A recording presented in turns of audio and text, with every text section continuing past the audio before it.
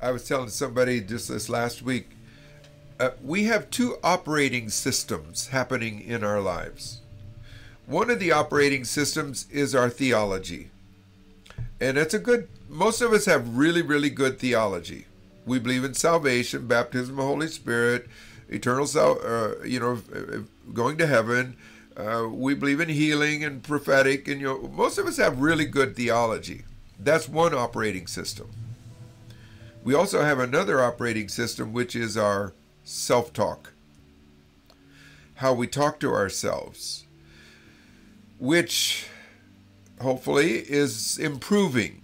But sadly, we tolerate, uh, I'll use that word again, we tolerate a duplicity, meaning a double standard, a two operating system, which many times are not compatible with one another. It'd be just like Apple and Windows or Mac and Windows are trying to operate together and never the twain shall meet, you know?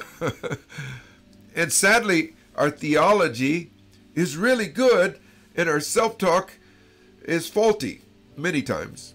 And like I said, thank God it's improving. Uh, the truth of the matter is becoming more and more clear to us.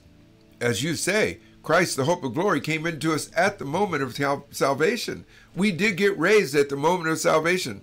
That was wonderful theology. But uh, walking in that has been taking a process to get us into the reality of it. And fortunately, the Lord, I believe, sees that our two operating systems are going to be able to come together. Our self-talk is it's improving, especially with revelations, rhemas, epiphanies. Oh boy.